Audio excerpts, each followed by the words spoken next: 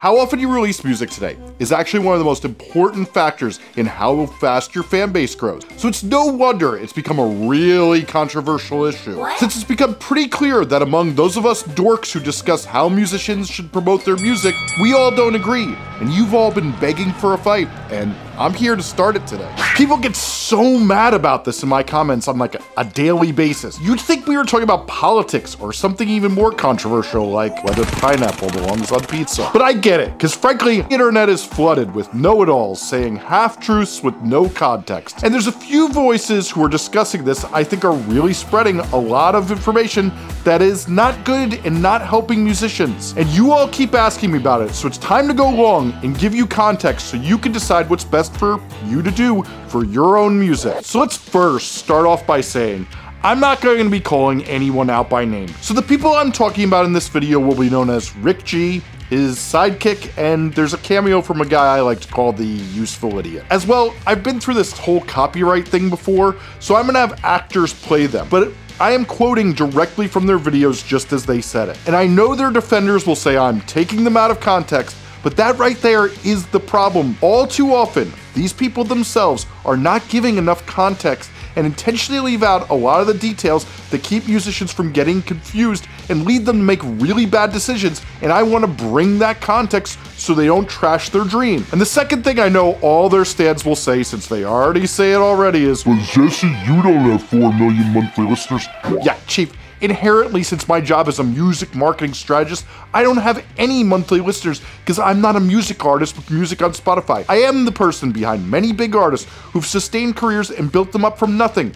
And whether that's in my music marketing work, production, or mastering, I have millions upon millions of monthly listeners through those artists, but I would never take all the credit for that because it's all part of a team. But much like betting on a boxing match by who's gonna win by the size of their fists, pecs, or weight, if you're judging our ideas by our monthly listeners, you're probably too stupid to be betting since no one who knows anything would ever place a bet on this. But if you think that's a good way to judge things, I can't help you, but I'm sure one day someone will help you to a nice tasty glass of Kool-Aid. So let's start off with the number one thing in my comments all the time, which is the absolutely concussed idea that unknown artists should be putting out a song every two weeks. Here's what Rick G says. I've released every two weeks, sometimes weekly, for the last four years, with a couple albums in between, and my numbers have really gone up. Oh boy. So many years ago, I had to go over a similar idea with the artist Russ and put into context his strategy he used to blow up by releasing a song every week. And if you for some reason still want to hear more of that discussion after this video, that's linked below. So we should start off by discussing that some genres are a bit more open to artists releasing music that doesn't take a lot of time or effort to do than other genres. And there's nothing wrong with either side of that. If you make prog metal or perfectly perfected pop songs, or even let's say Midwest emo, there's a level of crafting a song that people want to hear that like that genre that's often a little bit more longer and takes time to do than let's say trap or country rap. So what I mean by this is most of the top artists who are crafting say trap songs are often playing a numbers game. They look for a hot beat after sorting through a dozen of them or so, and then try a flow. And they may pull one out of 20 of those tracks to the side and choose to refine that one a little bit more. They'll compile the best lyrics they had on some of those songs that are on the cutting room floor, and then use those with the song that came out better after the ones they were crafting. Whereas crafting a prog metal or emo song requires months of playing around with the song till it's perfected down to strumming patterns, delay times, and countless details, and all that level of detail is rewarded by the listeners of the genre since they're used to that level of thought put into the songs they enjoy. And while the creative process can look similar in both trap and prog metal, the experimenting and optimization in some genres is just more rewarded. This was the same way jam bands like King Gizzard and the Lizard Wizard jam out songs on the spot, and they have their fans go nuts over them over some improvised jams. And meanwhile, the people they're smoking weed with in their dorms are listening to records by like Rosalia or Skrillex, which they slaved over the composition of each song for sometimes years. Different different genres need different levels of refining their tracks for listeners to respond to them. The fact is, the fans of different genres have some standards for how much a song needs to be slaved over, and frankly, two weeks is usually not it, unless you're doing absolutely nothing else but that. So you're probably wondering now, where am I going with this? If you release a song every two weeks in most genres, even the best songwriters of these genres are rarely capable of doing 26 songs a year. In fact, they often don't release that many in four years, since they live and die by their fans seeing them as people who release quality bodies of work. Whereas, say, in country rap, well, those aren't exactly the fans who are having brooding, long conversations over the body of work of an artist, which makes or breaks some genres. In fact, if you look at some of those sites that do mugshots, the fans of that genre are sometimes having conversations over the bodies of. I know a lot of you are thinking, Whatever, Jesse. My songs are just as good as the biggest artists out there, like Taylor Swift, Bad Omens, or uh, Summit. And with that, I have to yet again introduce your dumbass to the Dunning Kruger curve. This is a little piece of science that shows how idiots like you often think everything is easy, and you think you're smarter than like scientists who devoted their whole life to a subject, and you think you could walk in and do everything better than experts. But what this curve shows at the top of it is the people who are much smarter see the details of things and how hard it is to be a real expert because of the nuance and the fact that what makes you think your pop songs are good as, say, Get Your Freak On by Missy Elliott, possibly the apex of creativity in pop, is that you actually just can't hear the details that make something great, so you're overly confident at this. And we all experience this at some point in our lives, just most of us get over it by the time we're a teenager. This is all to say, if you think the song you put two hours into in GarageBand is as well crafted as, say, Justice's Phantasm, and you could turn out 26 songs that good a year, my bet is you can't hear that you're making the type of music none of us ever want to hear. Anyway, this is all to say, a lot of genres of music need crafting, pondering, and slaving over to be able to even release six great songs a year. Never mind 4.5 times more than that per year. So this taking Rick's advice about releasing every two weeks is out the window for most people who are in genres where quality of craftsmanship is valued by the fans more. But I've explained this before, and then I hear Rick G's disciples quote him by saying this after they wipe the Kool-Aid off their smile. But Jesse, I'm building catalog, and I gotta have catalog if I want to be one of the biggest artists in the world. In fact, in an interview with the useful idiot, here's what Rick G had to say. So what's gonna be your focus to start? My main focus to start releasing very consistently, release very frequently, and create content around those releases. My main goal is just build my catalog. I want a very large catalog because I'm not looking for, even though it may come, I'm not looking for a hit every time. So one of the biggest myths that's been spun by Rick G and his sidekick is that you need to have catalog to build off. And they're right that you do need catalog, but yet again, the context they leave out again and again is that weak catalog does you no good. I mean, after all, if catalog was such a great asset, why does Viper only have 25,000 monthly listeners and his biggest song has a million-ish streams, yet he put out 347 records in a single year, and what we didn't know is he had a woman kidnapped in his basement that whole time. What? Yeah, that's real.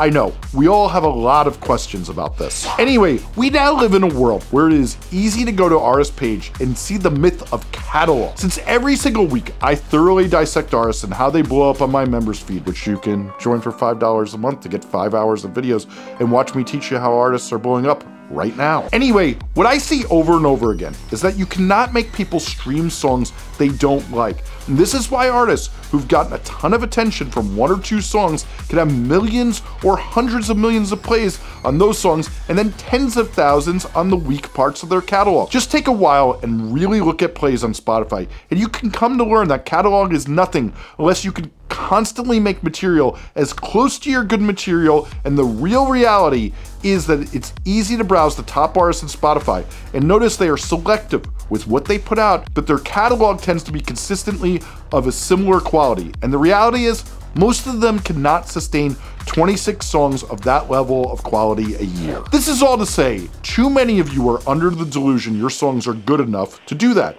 and that you don't need to do what most huge artists do, which is to write a lot of them, then keep some in incubation state, hidden in the vault, and pull parts from them, lyrics, melodies, and other ideas that you have, and put them into your best material to punch that material up to make it as good as possible. That's what most of the artists who really blow up do because without that process, they're making mid material. And when they put out mid material, their fan base dies, as we'll talk about in a little bit. I mean, you have all seen artists lose fans when they put out mid material, right? So why on earth do you think you're immune to this? But to that, I noticed Rick G has said something. Another gripe would be I don't want to overwhelm the listener with too frequent releases. You don't want your listener to grow tired of your music and maybe there's more gripes. I'm not sure, but to the listener, grow tired one and you don't want to overwhelm the listener. What I would say is I'm the perfect example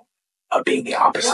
As I was about to make this video, we got a good lesson in how if you release too much catalog, it won't matter because they won't listen unless it's great. And too many of you's mommies told you are a little too special and you think just because it's you, people will listen. But if you make a song less than the quality your fan base is used to, it won't get listened to, as evidenced by Taylor Swift's metrics with the Tortured Poets Department, where we now see the artist with the most rabid fan base in the history of music has an album her fans are not listening to as much because the assessment seems to be it's not what most of them wanted from her. So what I ask you is this, if the most rabid fan base in the history of the world won't listen to her mid material, why is your mid material gonna help your catalog? I'll wait. Actually, I won't, because that's not how YouTube works. This is all to say that you do continually need to make a decision between how much quality versus quantity to release because it will not get streamed if it's not liked by your fans. The fact is, it is now easy for people to access whatever music they want to, so pumping out mid tracks all the time that treat your song like it's a lottery ticket rather than a mood altering drug that makes people feel a way they'd rather feel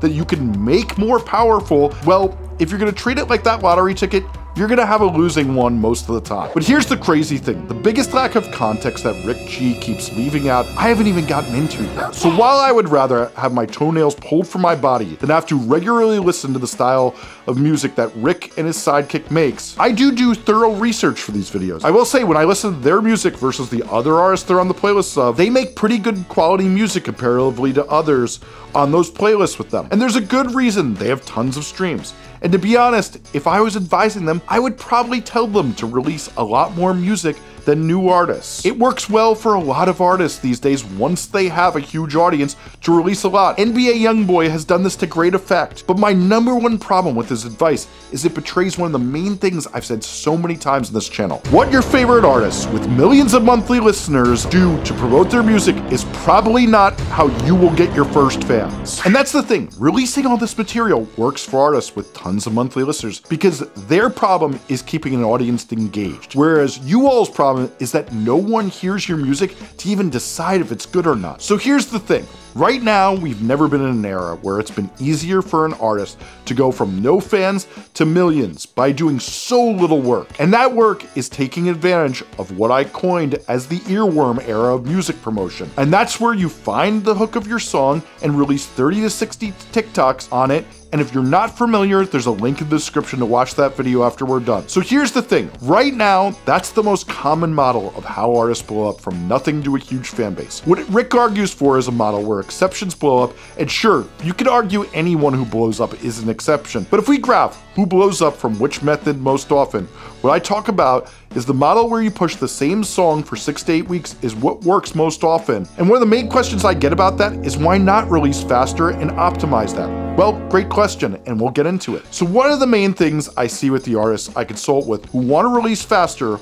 they often have a problem is that when releasing these TikToks, it only starts to work usually at around the 30 day mark. Have you ever noticed a lot of the TikToks you're watching from musicians aren't from the day you watch them, but often weeks later? When an artist is unknown, the algorithm is often finding where to send them, and when it finally figures out, a critical mass happens, and frankly, that often takes a few weeks. But if you stop posting after two weeks, you've stopped posting right when it usually starts to work. And then you know what? Momentum dies, and that song's momentum does not reach its full potential. The reason you see so many of the artists blowing up or releasing every six to eight weeks is exactly that it seems to be the pace that keeps up attention and allows time to promote a song and let the Spotify, TikTok, and Instagram algorithm get it heard by enough people that it hits critical mass, and then the word of mouth and the algorithms take over some more and let the song continue to get more streams. This is all to say, two weeks is too fast. Since what I often see is that week two, the promotion is starting to work, and week four is when it really works. And really, in all reality, I've seen times when at week eight, it's probably too soon to pull off the gas, and you should keep pushing the song. And right now, we keep seeing artists like Lay Bankz and Dasha stop promoting the newest song they were promoting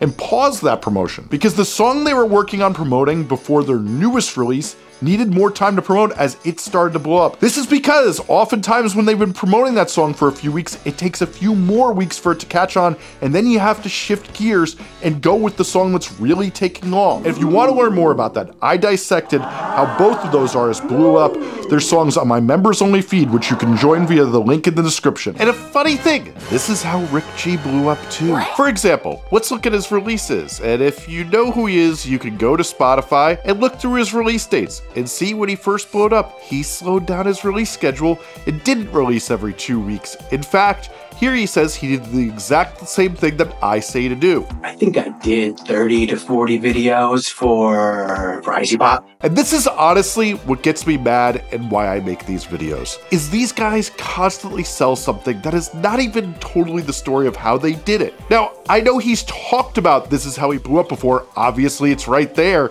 But the thing is, is he keeps saying, this is what I'm doing right now, as if this is good advice for small artists who haven't yet broken. It'd be one thing if they lived by the sword and died by it, but it's not how he blew up, and there's a reason for that. When artists are first getting an audience, they need to continually get attention, remind people over and over again, and then once they have a big audience waiting for more, you can more easily get through to them as you have more direct means to communicate with them. But this is probably a perfect time to return to Rick G's interview with the useful idiot and let him speak with his own words. A lot of people are just trying to get one song to go bananas when a more realistic approach is just to release more music and it'll add up. It'll add up to one song going bananas if you just release more music. And the likelihood of you getting one to go bananas increases the more you release. For example, if you're releasing frequently and someone doesn't like your song, they just won't listen to it. They're not going to be like, oh man, I wish my favorite artist didn't release so frequently. They just won't listen to that one. And it's not for them. Listen. If they do like it, they'll listen a ton. And I'll put it on repeat. And I'll even follow it up with a smart question that his followers often ask me in the comments, which is, Why can't I promote more than one song at a time, Jesse? Sorry, this is just not the case. When you're an unknown artist, if someone likes what you do, but hears a bunch of crap coming from you constantly, they stop paying attention. We've seen the data. A thing I've shown numerous examples of this on this channel is when you only have one hit or one song that's doing well, no one will follow you at the ratios they follow people with a bunch of good material. People get excited about artists who do exciting things, and putting out an occasional song and a bunch of mid crap in between is not exciting to fans. It does not incite a relationship where they keep coming back to see if you finally delivered another egg after you've been basically crapping something out. He's right, if you blow up and put out a lot of material, it's easy to get fans excited, and they are more forgiving of you if you've been putting out consistently good material that occasionally mess up here and there. But all of this sets up the potential to fall off and is often unsustainable, which is why we see artists disappear. Much ink has been poured over, say, like Brockhampton, generating a ton of excitement by having a dozen or so minds making such amazing music and releasing so much good music so fast, but then they slowed down and lost excitement as they released mid material less often. And that I fear is the ultimate lesson of this method, is it's incredibly hard to sustain good tracks for a long period, which is why artists have such short careers. And frankly, I'll put money against any artist doing 26 good songs that sustained fan base growth for more than a year or two. Whereas the method I prescribe of crafting your material and pushing out the best of it, well, there's a reason it works. And I'm sure you all have experienced this with your own listening. But if you like a song someone does, and then they put out a bunch of mid crap that doesn't hit you, or for that matter, they put out bad material, well, fans grow bored and stop listening to see if you're going to give them a good song, which is another part of context Rick G loves to ignore. And I hate to really dig in here, but I'm of an age where I meet a lot of successful musicians whose careers have sadly washed up like most musicians do at around middle age. And the real truth of it is, when a lot of them talk about what they regret, it's that they thought they had everything so dialed in that they could release material they didn't give their all to, and they find out otherwise when the fans hate it. And frankly, releasing music this often often feels like a real formula for disaster for most musicians. But ultimately, the nice thing is, I get to go to bed every night knowing I gave my full context, and you can all stop asking me in the comments what I think of this and do whatever you want for your own career. Since that's the beauty of context, is you now have a lot more information to make your own decisions and do whatever you want. Isn't context so nice? So fun fact, I didn't even get into half the things that I see these guys talk about that I really, really think needs more context. So obviously, if you want to see me do more of this, well, hit the comments and let me know because wait till you see what they say about playlists and music videos. But if I already released that video, it's on the screen now. But if I didn't release that video quite yet, on the screen right now or in the description is a video on how I recommend promoting your music. So watch that now.